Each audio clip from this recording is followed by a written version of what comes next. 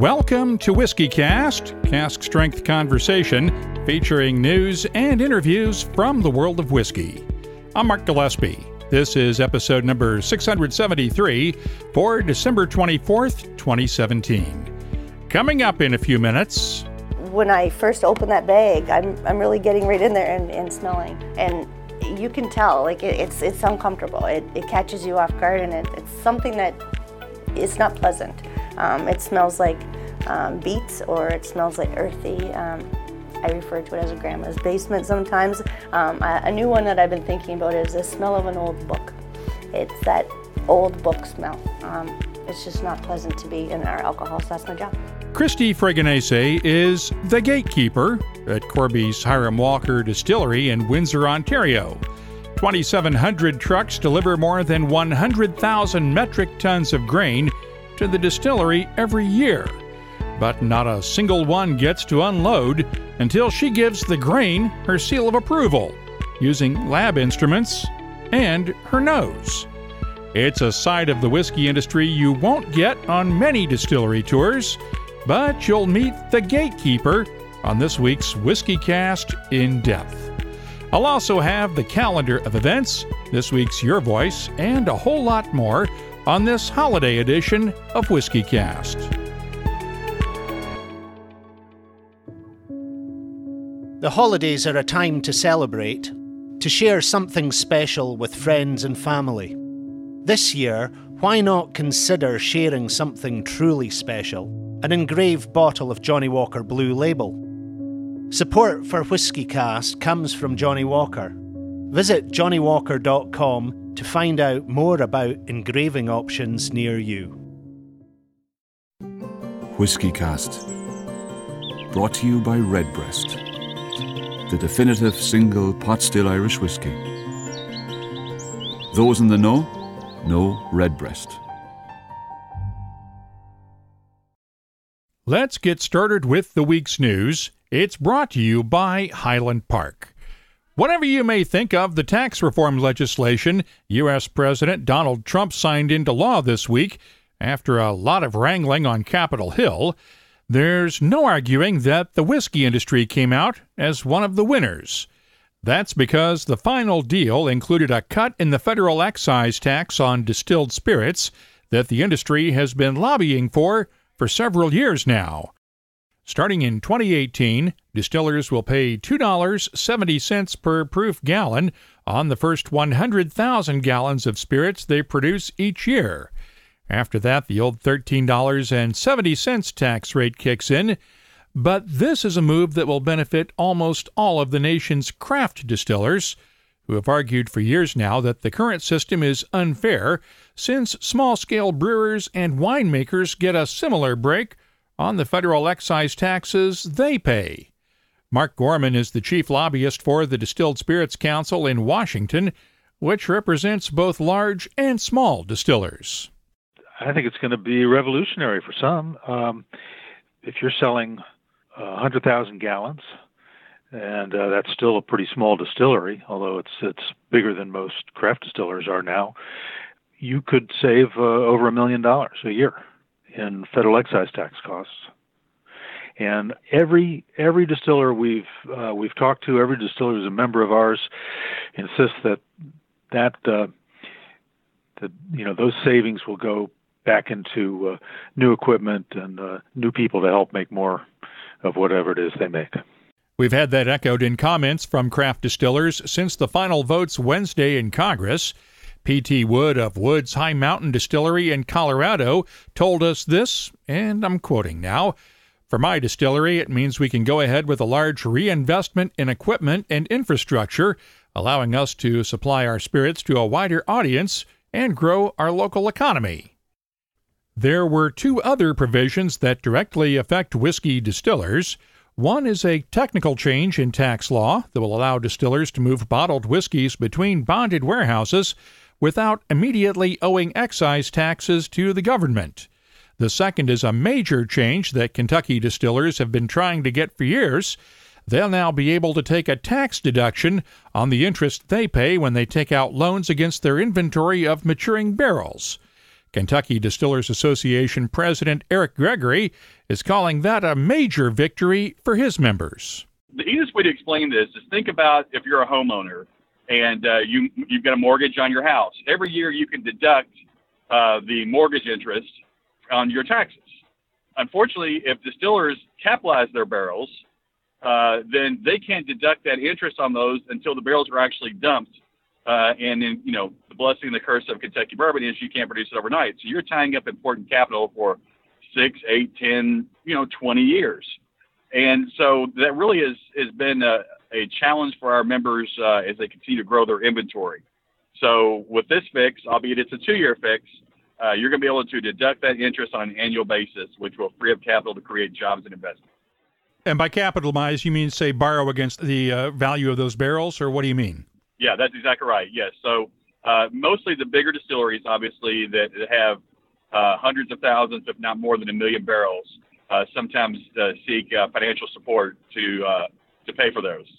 so that's it's the same as mortgaging a house, correct? What is this going to mean for the distillers in Kentucky who have a whole bunch of barrels in stock? Well, it'll mean more money going back into the distilleries and the employees and uh, and the craft. Really, um, again, you know, we are building as fast as we can in Kentucky to meet the overwhelming global thirst for our our amber nectar. Heaven Hill expanded by uh, more than a third this year, as we all know, Maker's Mark has been doubling production almost every year, and uh, we can't build warehouses fast enough to handle all the new juice. So uh, with this money now uh, coming back into the distillers, we'll be able to reinvest that money and hopefully provide more Kentucky bourbon for the world to enjoy for the, the coming years.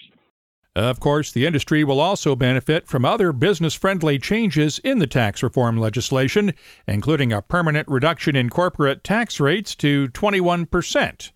The whiskey specific tax changes are only good for the next two years, though, and will have to be renewed by Congress before they expire in 2020. We had more new distilleries fire up their stills officially for the first time heading into the holidays. We hinted at this one a few weeks ago, but in Kentucky, distilling has begun at the new James E. Pepper Distillery in Lexington. Amir Peay built the new distillery inside the shell of the original James E. Pepper Distillery in downtown Lexington's Distillery District. You can hear my interview with Amir in episode number 588 in the WhiskyCast archives. In Scotland, R&B Distillers opened up the Isle of Raasay distillery, while Drew Mackenzie Smith and his team have now started distilling at the Lindores Abbey distillery in Fife. You can listen to my August interview with Drew in episode 654. And earlier this month, we heard from Andrew Morrison of the new Clydeside Distillery in Glasgow, Scotland. They filled their first casks with new make spirit this week. Congratulations to all. It's been 12 years since they filled the first casks at Daftmill Distillery in Fife, Scotland. And for years, the big question has been when will the first whiskey be released? Well, we now know it'll be sometime in 2018 when Daftmill's owners will bottle the first two casks they filled back in 2005. The distillery has signed a distribution deal with Berry Brothers and Rudd. No release date has been set yet, though. We'll have more details on an upcoming episode. And the first whiskey has now come of age at the Shed Distillery in Drumshanbo, Ireland. The distillery in Connacht opened three years ago this month. That first cask was opened up for a quick tasting this week then sealed back up to mature for a few more years. The distillery will open up its visitors center in the coming year. In other news, the Macallan has released the second edition of its 40 year old single malt, following a similar release this time last year. As you might expect, it was matured in sherry casks, and as you also might expect, it's going to be very limited and very expensive. Just 465 bottles will be available worldwide, with the U.S. recommended retail price set at $9,000 a bottle. And we've mentioned this one before, but Highland Park used the winter solstice on Thursday to officially unveil its new 17 year old The Dark single malt. It's matured in first fill ex sherry casks, bottled at 52.9% ABV. In the U.S., it'll sell for around $300 a bottle and will be followed this spring by its counterpart, the Light. Knappogue Castle is releasing a special edition of its 12 year old Irish single malt. It's matured exclusively in first fill ex bourbon barrels and carries a recommended retail price of $65 a bottle through reservebar.com. And finally, let's update you on last week's story about a Scottish hotel that claimed the Guinness World Record for the whiskey bar with the largest selection of whiskeys available for sale. The Glen Esk Hotel has the record at 1,031. And last week we heard from Derek Mather of the Artisan Restaurant in Wishaw, Scotland, who has more than double that number available at his place. Derek was told that it could cost £6,500 just to have a Guinness World Records adjudicator visit the artisan to verify a new world record, plus £3,000 a month in licensing fees to promote that record in his ads and social media. While no one from Guinness World Records was available for an interview this week because of the holiday, spokeswoman Kristen Ott told me in a series of emails that 96% of the 40,000 applications for new world records each year are processed free of charge, and that it is not mandatory to have a Guinness World Records adjudicator verify a record in person. And the only licensing fee required for a record holder to promote a world record as if they want to use the actual Guinness World Records logo. Otherwise, there is no cost involved. I passed that information along to Derek Mather this week, and it appears he may be a bit more inclined to go for that record now. We'll keep you posted. The news is brought to you by Highland Park. Ready for a break from Christmas music now? Highland Park has something to get you in a better mood. They've collaborated with musician and producer Saul Davies to create the full volume playlist on Spotify with 20 songs that inspired Saul's soundtrack to go along with Highland Park's new full volume whiskey. And it just might make your New Year's Eve party even more memorable. Check it out on Spotify. Just enter Highland Park Whiskey in the search field and crank that volume all the way up to 11. As for the whiskey, you'll find that at a whiskey shop near you or at highlandparkwhiskey.com. Seven swans a swimming, six geese a laying, four calling birds, three French hens, two turtle doves, and a partridge in a pear tree.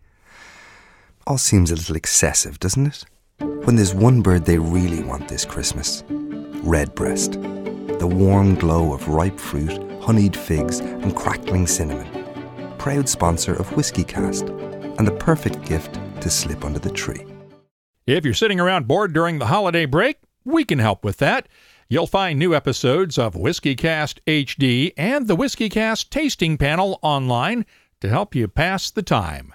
This month, our tasting panel of The Three Wise Men, Angelo Veneziano, Mike Farley, and Sam Spears, tasted the Oban 14 year old single malt along with the Glenburgie 15 and Highland Park's 17 year old full volume. You'll find the WhiskyCast tasting panel on iTunes and Apple Podcasts, and wherever you download your podcasts from, as well as whiskycast.com. The WhiskyCast tasting panel is brought to you by the Whiskey Exchange.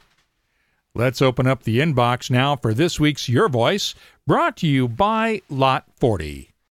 First off, it's time to start thinking about your end of the year drams this week. What will you finish off 2017 with? And what will be your first dram of 2018? Tell us on the Your Voice page at whiskycast.com or on our social media feeds, and we'll share some of your choices on the next episode. Also, if you're inclined to leave a dram out for Santa on Christmas Eve instead of the usual cookies and milk, well, what did you pick? Lori Van Teal, at Lori in Seattle on Twitter, tweeted, If Santa visits me, he's only getting American single malt. After I suggested bourbon instead of the milk, since Santa might just be a bit lactose intolerant, Connor Dempsey tweeted from Ireland, Meh, word is Santa is more keen on pot still Irish whiskey.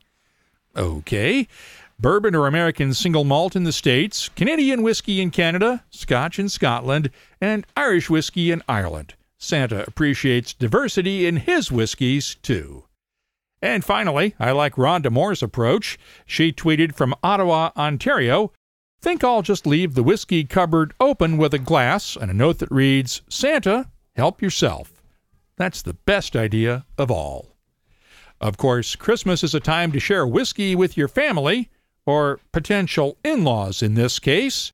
Ryan Campbell at rcampbell919 tweeted this WhiskyCast, my girlfriend's father claims to like smoky whiskey, so I'm taking Corryvreckan to Christmas Eve dinner. Mwahaha. At ardbeg underscore dot com, hashtag whiskey, hashtag scotch. Oh, this ought to be good, Ryan. Let us know when you uh, get out of intensive care, okay?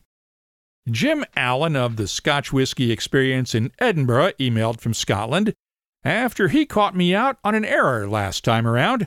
During our Lagavulin commercial at the end of the in depth segment, I was talking about the Distiller's Edition and said it was finished in Oloroso sherry casks. Here's part of Jim's email. Is this a different Distiller's Edition that you get in the States? Every Lagavulin Distiller's Edition that I've tried or read about, and I've tried quite a few, was finished in a Pedro Ximénez cask. Jim is right, of course. It was my mistake. And he went on to add, Love listening to your podcasts as I travel on the train to and from my work at the Scotch Whisky Experience in Edinburgh. Your podcast is a valuable source of information that I regularly use to brief my staff on new developments. Keep up the good work. Thanks, Jim.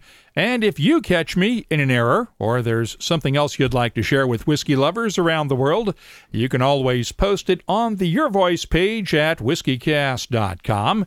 If you'd like to hear your comment on the show, just record a voice memo on your smartphone and email it to us. The address is comments at whiskycast.com. And of course, you'll find us on Facebook, Twitter, Instagram, and Tumblr at WhiskyCast. This week's Your Voice is brought to you by Lot 40, Canada's award winning 100% pot still rye whiskey. Lot 40, unapologetically Canadian. Please drink responsibly. Time now for the WhiskyCast calendar of events. The Brandy Library in New York City will wrap up 2017 with a tasting of the year's best whiskeys on December 30th. Seven Grand and Las Perlas in Austin, Texas are teaming up for the Tullamore New Year's Eve party on New Year's Eve. The Kensington Wine Market in Calgary, Alberta will host an introduction to whiskey tasting January 9th. The Harrow Whiskey Festival is January 12th and 13th in London. I'll be at the Victoria Whiskey Festival in Victoria, British Columbia again this year from January 18th through the 21st with special coverage once again that weekend right here on WhiskyCast. There's a Port Ellen tasting at the Morrin Center in Quebec City, Quebec on January 25th, and the Red Stag Pub in Bethlehem, Pennsylvania will host a Talisker and Lagavulin tasting on February 1st. Right now, we have 142 different events on the searchable calendar at whiskycast.com. There's bound to be something going on near you. You don't need a special occasion to open a bottle of Johnnie Walker Blue Label. But when you have a special occasion, why not celebrate with a specially engraved bottle of Johnnie Walker Blue Label? Here's how one whisky lover celebrated his team's recent success. He arranged to have 108 specially engraved bottles of Johnnie Walker Blue Label made for his co workers. You might say he hit a home run, just like a perfectly executed double play. Johnnie Walker Blue Label is smooth and well rounded, and unlike a trophy, never needs polishing. Support for WhiskyCast comes from Johnnie Walker. Visit johnniewalker.com to find out more about engraving options near you. Johnnie Walker Blue Label Blended Scotch Whiskey, 40% alcohol by volume. Imported by Diageo North America, Norwalk, Connecticut. Please drink responsibly. WhiskyCast In Depth is brought to you by Lagavulin. It's winter now, and in the Northern Hemisphere, the crops are in for the year. Of course, whiskey lovers depend on the farmers who grow the grain that distillers turn into whiskey, but all too often, we tend to take that part of the process for granted. If you've ever been on a distillery tour, You might have seen a grain truck pull up to make a delivery, but there's a lot more to it than that. That's because there's one person at every distillery with an important job, one that never gets a lot of acclaim either. That's because there are no awards honoring the gatekeepers. Each year, 2,700 grain trucks pull up to the Hiram Walker Distillery on the banks of the Detroit River in Windsor, Ontario. The distillery will use around 100,000 metric tons of grain a year to make 45 million liters of Canadian whiskey. How you doing? I know, right? And there's one person who oversees all of that grain, Kristy Fregonese. Hi. Hi, how are you? Good. You're trainee? Uh, I'm training. Yeah. Training. Okay, very good. Well, you're in the right hands. Oh, perfect. Nice to see you. It's been a long time. Yeah. Yeah, you guys can head right back. You remember the routine?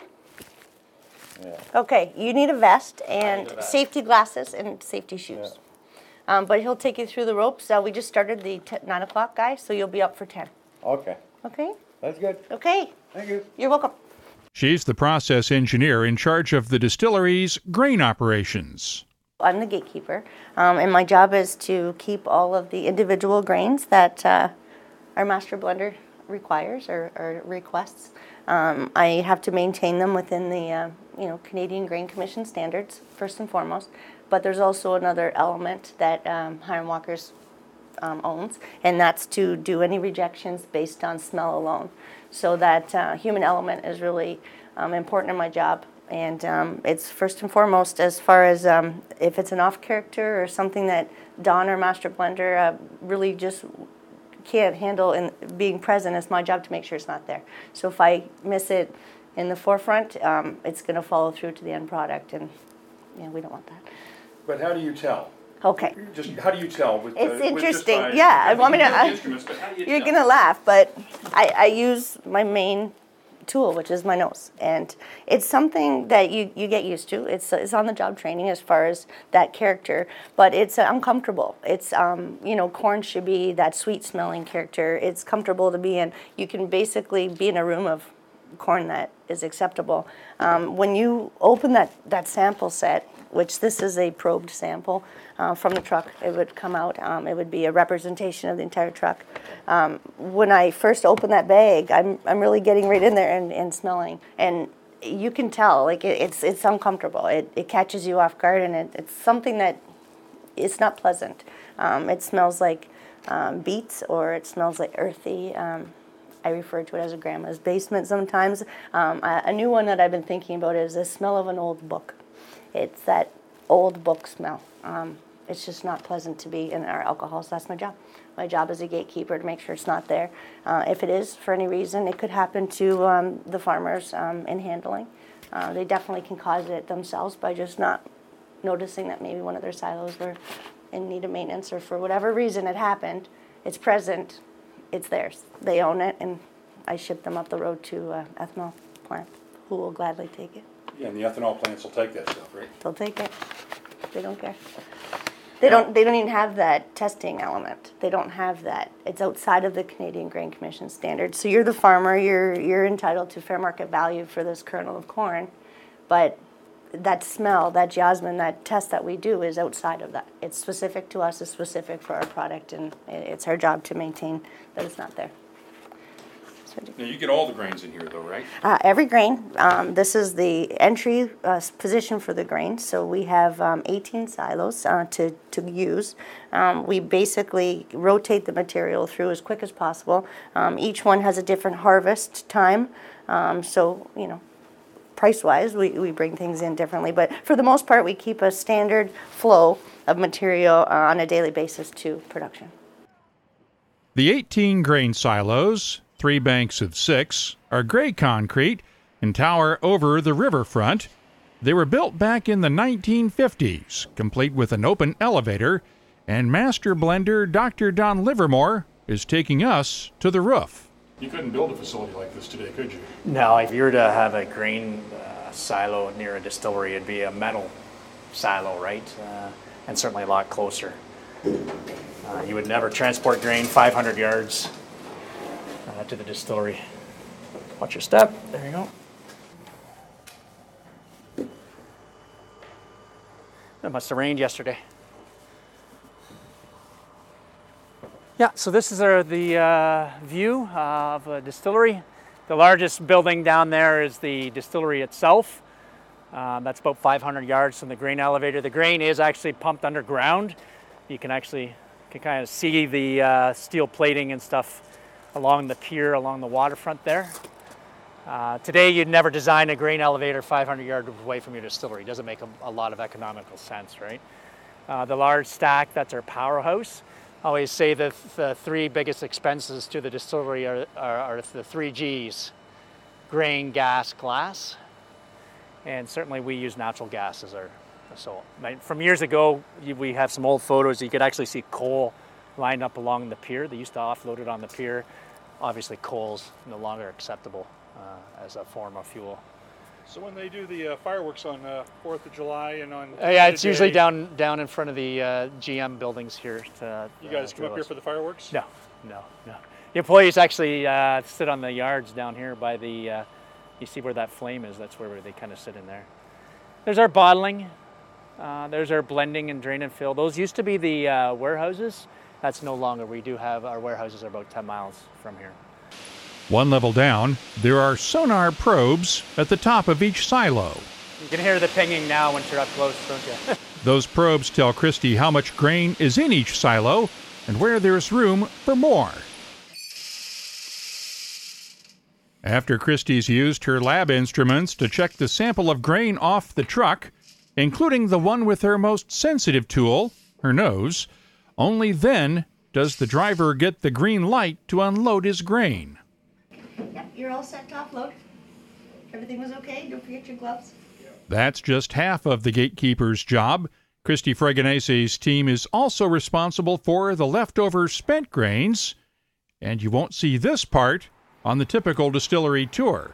This is kind of behind the scenes tour part um, where they're actually removing the material and putting in trucks. So one out of every three pounds of grain used at the distillery leaves as spent grains, about 150 metric tons a day. There are two massive mountains of grain inside this concrete block building, reaching the ceiling 40 feet above the ground, while one worker moves them around with a front end loader. That's an auger pit there, Mark. Yeah, an auger pit. There's bucket elevators um, that the material will go into. He's ensuring off of our dried and cooled pile that the material is going to get separated and um, blended. It almost looks like the escarpment, I, I, think, of all the different serrations of color, but really that's because we ran rye, corn. Um, we did a lot of rye runs this week, so it's a little darker. You can actually see the rye on top of this pile clearly. Mm-hmm. This one has a high rye content because of the dark color to it. Yep. And this one will have is all corn. I can tell by the yellow yellow color, right? Yeah. And it's important to get it all blended up. Yes, and that's what he's doing. So on top of the the pit there, um, you've got a grate, and it's going to blend. It's going to go through a bucket elevator, and it gets separated on the rooftop and and really separated out into an even mass. So then you'll you know you'll blend up that color, and they'll be good to go. And what happens if you don't separate it?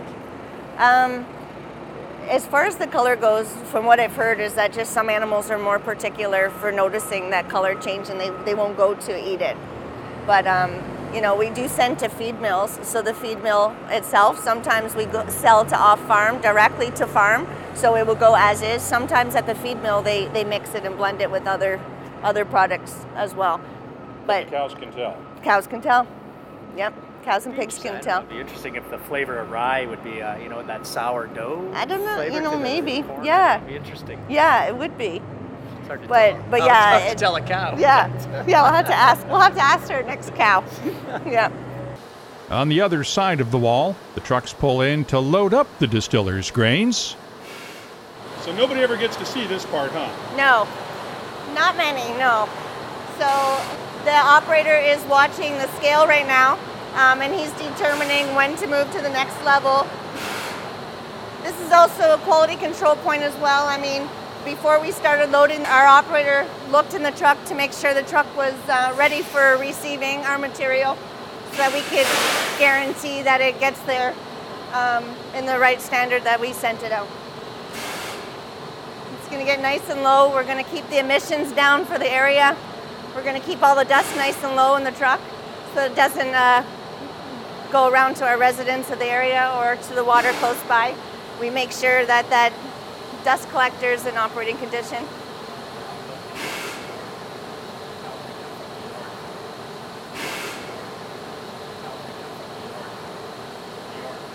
So yeah, we, we have a lot of customers. Um, for the most part, we uh, the one I talk about the most frequently is the fact that we have drivers from New York. Um, they come all the way from Buffalo daily. Uh, we just heard from a driver earlier talking about how he passes four ethanol um, locations to they, he goes by all of theirs so that he can come and get our material. We don't use any um, antibiotics or sulfuric acid in our process.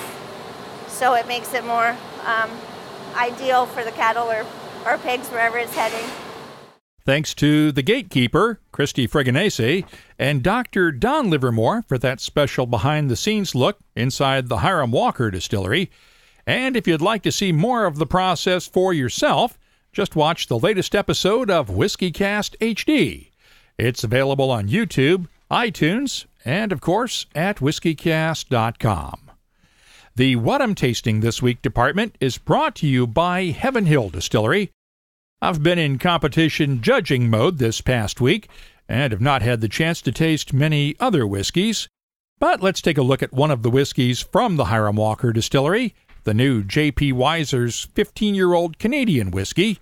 It's a combination of corn and rye whiskeys distilled and matured separately in a mix of new and used oak, along with first fill ex bourbon barrels, and it's bottled at 40% ABV. The nose has notes of toasted oak, buttered popcorn, soft spices, and hints of toffee and caramel candy. The taste starts off sweet with toffee, caramel, dried apples, and apricots, along with subtle touches of clove, nutmeg, and wintergreen mint that add a nice balance. The finish is long and smooth with gently fading spices and just a touch of dried fruits. I'm scoring the J.P. Wiser's 15 year old a 90. This week's tasting notes are brought to you by Heaven Hill Distillery, makers of Whisky Advocate's 2017 Whiskey of the Year, Elijah Craig Barrel Proof. The 12 year old barrel proof bourbon was pitted blind against competition from around the globe and was consistently ranked number one by the magazine's testers. Meet the whole Elijah Craig family at heavenhilldistillery.com. Think wisely, drink wisely. I had the chance to try anCnoc's Rascan peated single malt recently. It's bottled at 46% ABV and the nose has a subtle peatiness along with notes of grilled pineapple, heather, honey, vanilla, and just a hint of smoked salmon. The taste has a good peaty smokiness and touches of honey, vanilla, smoked salmon, and just a hint of citrus fruits, while the finish has a nice lingering smokiness and touches of grilled fruits. I'm scoring the anCnoc Rascan a 90. This week's tasting notes are brought to you by Heaven Hill Distillery. I'll have more tasting notes next time around, but until then, you can look through my complete list of more than 2,000 different whiskeys at whiskycast.com. And keep in mind that list does work on your smartphone, so you can use it when you're at a whiskey shop or looking over the whiskey list at a pub, too. You'll also find links for the latest episodes of WhiskyCast HD and the WhiskyCast tasting panel at our website, along with the latest whiskey news, events, cocktail recipes for the holidays, and a whole lot more. Please take just a minute this week to leave a review or rating for WhiskyCast on iTunes or your favorite podcast site. Those ratings do figure into search results that can help other whiskey lovers discover the show when they're looking for podcasts online. And let's keep the cask strength conversation going all week long. I'm on Facebook, Twitter, Instagram, and Tumblr at WhiskyCast. and my email address is comments at whiskycast.com. WhiskyCast. Brought to you by Redbreast, the definitive single pot still Irish whiskey. Those in the know, know Redbreast.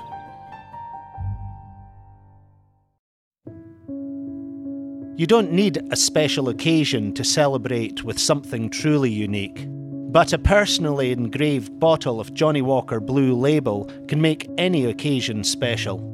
Support for WhiskyCast comes from Johnnie Walker. Visit johnniewalker.com to find out more about engraving options near you. WhiskyCast is a production of Cask Strength Media, copyright 2017, and comes to you each week from the charming, yet regrettably dry town of Haddonfield, New Jersey. I'm Mark Gillespie, reminding you that when you drink, please drink responsibly. Thanks for listening, and happy holidays.